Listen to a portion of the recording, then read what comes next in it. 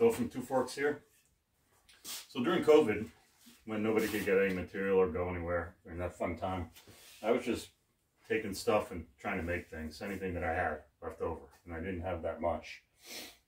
I had this piece of pine from my hardwood floor guy brought it over to show me what it would look like after it got stained because I had those floors up in one of my rooms. And so I just made this box for no particular reason other than trying to keep my sanity during that whole lockdown period. So now I've decided I'm going to try to make a cabinet out of this. Just a little small cabinet that I'll keep who knows what in, but I enjoy the challenge. I'm going to try and make it out of this. Obviously, it used to be part of some construction project.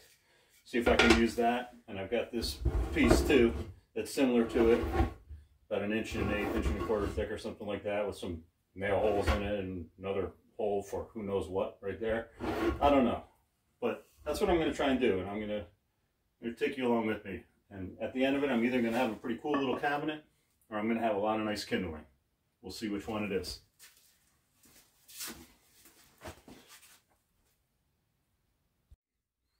So here's what we're working with.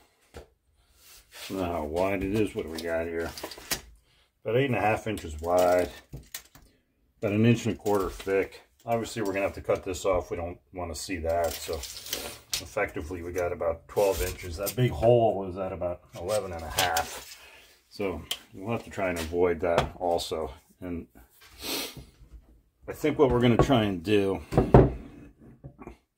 is I'll, I'll cut this, I'll cut this in half, somewhere right down this, the middle of this, this redder grain. And those, those will become the two faces of the door, the door, two door panels. And I'll cut this in half and then I'll rip it on the bandsaw so that each one of these is about a quarter inch thick. And I'll use those as the panels. What's left here, this other half, I'll use that as the rails and stiles for the door, I think. And then who knows what we'll do with this. We'll see if we can make the, the frame of the of the cabinet out of that, if we have enough of it. Uh, I think we have some, we might have to use something else for Oh, we already have this. What am I talking about? I was thinking we were going to try and use this as the box, but yeah, this is this is already our box. So who knows? Well, this will all end up somehow being incorporated into the doors probably, and maybe incorporated into the drawers. So that's the plan. It gets a little tricky, especially with my junky bandsaw, to try and cut these that thin. I'll, I'll, probably cut them a little bit thicker, run it through the planer, and uh, see if we can get it right. The tricky thing with these, when you cut them this thin, is they they they start to want to curve pretty quick. I think if we're they're only four and a quarter, whatever they're going to turn out to be, four inches wide, I think we should be okay. Maybe I'll poly them really quick to see if that if that keeps them from going south, but that's usually the problem. The other tricky thing is when you're when you're trying to cut a groove into these rails and stiles that are that's only this quarter inch or three sixteenths or whatever we're going to end up making it. Uh, that that can get a little sketchy. So I think we'll we'll do it on the table saw, but I'll probably make some kind of jig to, to hold it down and move it through because I don't really want to push a tiny little piece through there with my fingers. So that that's the plan. Let's see if we can pull it off. So we're gonna cut this board base. Whoopsies, didn't mean to do that. We're gonna pretty much cut this board in half, right right down the middle of this red section and uh, that's going to eventually give us our two door panels after we you know cut these in half and so forth. And we'll take this one use the middle section against the fence and then cut off what's left. And those are uh, eventually become our door panels. We'll uh, have to cut them for thickness and, and all that but uh, i'm happy with it. They, they came out about the way i was hoping So originally I thought we'd cut these on the bandsaw, or our little door panels, the quarter inch thing, but I, I don't think my bandsaw can handle it. So we're going to cut it first on the table saw. I've already cut the other one. And so we'll cut this little quarter inch panel and then flip it over and, and cut it again. And I'm going to leave about three quarters of an inch left on there because even my bandsaw can handle that. And uh, it makes it a little bit easier to, to do. Uh, so you can see that we got a pretty nice cut and uh, it's going to be kind of an easy thing to do on the bandsaw. So I think we're in, we're in good shape. So this should be a piece of cake even for my bandsaw and this dull blade to just cut that little three quarters off of here. So just get as close to the quarter inch panel as you can when, when you're cutting this, and then we'll just, uh, sorry about that, and just move right in front of the cut. I like to pull it from behind when I'm doing this because when you get down to the end, it starts to go pretty fast. And I really don't want to run my thumb through there. So uh, I pull it from the back. Again, this is just a rough cut. So it, it's no problem to do it that way. And now all we have to do is uh, run this little guy through the planer and we'll have a pretty nice flat quarter inch panel. So now we have our two pieces left over from the cutting of the door panels and we're going to turn those into our rails and stiles. So we'll run them through the joiner real quick to get a nice edge on one side. And I like to mark which side I just ran through the joiner because I tend to forget and I want to put that side up against my fence. So we're cutting these about an inch. I think maybe we trim them back down to about three quarters uh, after we took a look at it and saw that the proportions weren't quite right at an inch, but it's roughly about right. And it looks like I'm doing some dangerous stuff when I'm reaching across the table saw, but it's just because the video is kind of sped up. It, I'm actually really careful not to reach across and grab stuff that's going to suck my hand into the blade. I, I really don't want to do that, and I recommend you don't either. So I am being careful. It just looks kind of fast. So now we have our pieces set our rails and stiles all cut, and we'll take those over to the router table and route them. So originally I said I was going to do this on the table saw, but uh, it occurred to me that it would just be a lot easier to do it on the router table with a quarter inch router bit. So that's what we're doing. And uh, yes, I realize that we're going to see the dado on the rails, but that's okay. I'm going to just fill that in with a little piece of wood because for this effort, I, I don't feel like doing a stop dado. So I'm not. And that little tool is called the gripper. And if you find one, buy it because they're really, really good for, for doing things like this, smaller little pieces. It holds it to the fence and it holds it down. So it's a great little tool.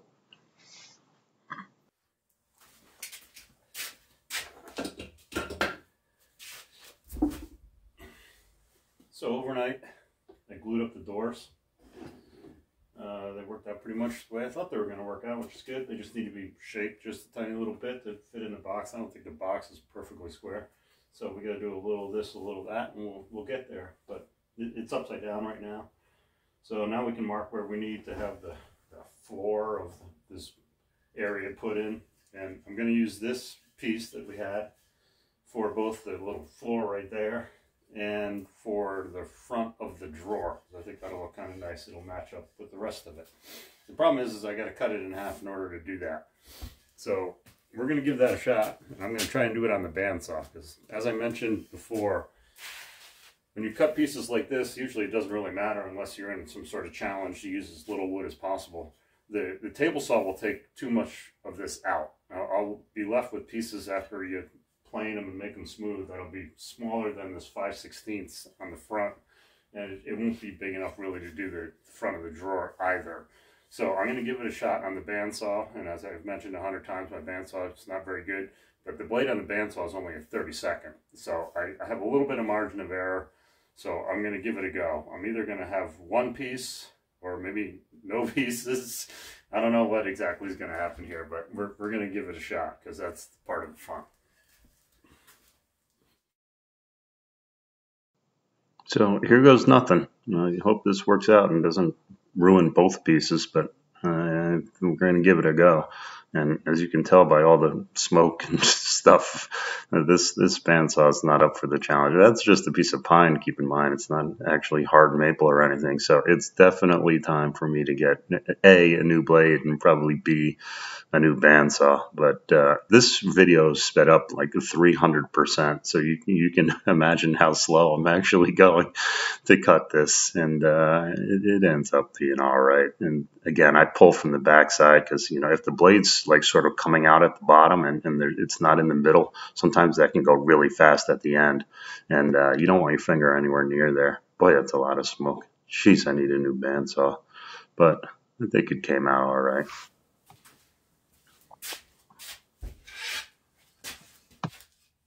It worked. Actually worked out pretty well I wanted the face of this drawer to be slightly thicker. So even though it got a little weird at the end there, after I ran it through the planer, this piece was a little thicker and this little piece that's just friction fit in there right now for the bottom of the door cabinet is uh, worked out to be 5 sixteenths, just what I needed it to be. So sometimes luck's better than skill, I guess. So now comes the fun part, the mortising of the hinges. And I don't know about you guys, but I hate it. I, I, just hate it. I hate doing it. It's such a pain. It takes forever, and it's, it's easy to make a mistake. And you know, especially when you have little boxes like the one I'm working on, uh, it's hard to get the chisel in, in sometimes in where you want it. As you can tell, I'm spinning the box and flipping it and trying everything to get it right, but uh, it, it's a pain. Um, so make sure you have a good sharp chisel and a decent knife to cut the edges, and, and it can it can come out fine. But it, it takes a long time, and and I, it's just something I really don't like like to do. But uh, these have removable pins, and I think I mentioned it later that that's the way to go. It makes it a lot easier the hinges, so that you can you don't have to take them on and off all the time to to set it up. Uh, it makes it a lot easier. So here, I think it's going to fit just about right. And I hope so, because this took a, a, long time. And as I said, I, I really don't like doing it. We'll see how it turns out.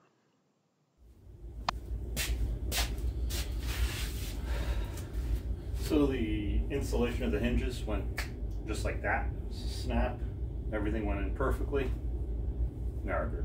It never does. I had to mess around with them a little bit to get the reveals right, but eventually I got it the way that I want it. Um, when when you're doing these little cabinets, and if it's nothing fancy, you're kind of using these less expensive hinges.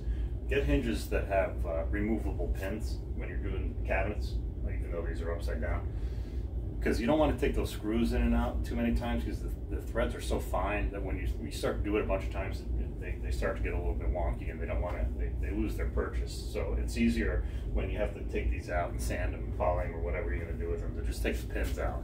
It's, it's, it's much better. So do that. So this worked out about the way I was hoping it was going to work out. And uh, I decided not to make the drawer. I'm going to leave that open because I have this one piece and I didn't want to cheat really.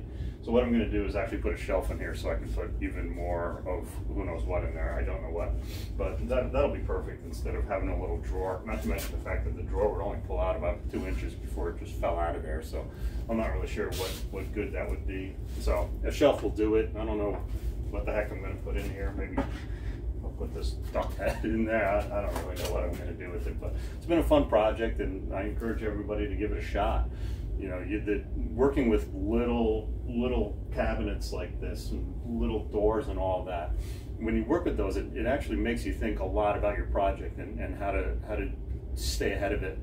Because if you cut these little guys and then you have to run them through the router, it's going to be a real pain. So you have to stay one step ahead all the time when you're doing these so that you don't just cut the pieces all up and then realize that, oh my gosh, there's no way I'm going to be able to put all of this together.